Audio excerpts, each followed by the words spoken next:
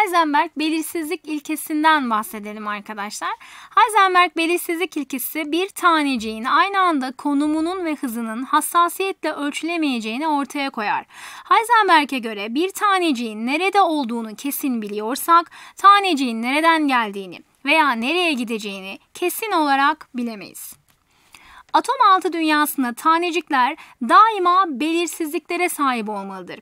Bu belirsizlik yapısal bir belirsizlik olup alet yetersizliği ile ilişkisi yoktur. Ve arkadaşlarım bu belirsizlik delta x çarpı delta v büyük eşit h bölü 4 pi şeklinde gösterilir. Delta x konum, delta v hızdaki değişimdir. Heisenberg delta x çarpı delta v büyük eşit h bölü 4 pi formülüyle taneciğin aynı anda konumunun ve hızının hassasiyetle ölçülemeyeceğini ortaya koydu.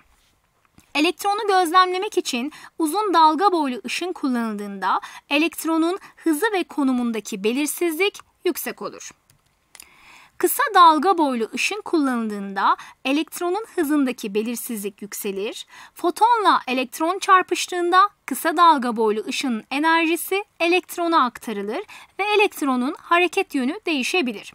Ayrıca bu ilkeye göre kesinlikle bilinen yörüngelerden bahsetmek yanlıştır. Dikkat dikkat kesinlikle bilinen yörüngelerden bahsetmek yanlıştır.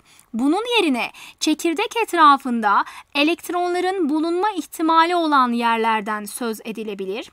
Bu nedenle belirsizlik ilkesi Bohr'un atom teorisindeki elektronlar dairesel yörüngelerde dönerler ifadesinin yanlışlığını göstermiştir.